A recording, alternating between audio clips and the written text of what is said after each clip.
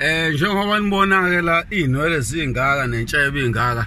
Na na inhlansuthi la eduze kwami. Awubatshele malume ukuthi ikhanda ngalithinti inwele zi right zinje nentshebe le.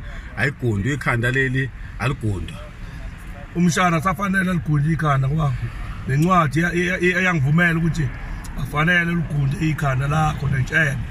Indoda ibonakala ngazo zonke lezi zinto futhi yahlonipheka yebo. Umshana mike miyekenike ngalokho into akagunda agunde olwethu unyazi. Olwethu unyazi. Ya.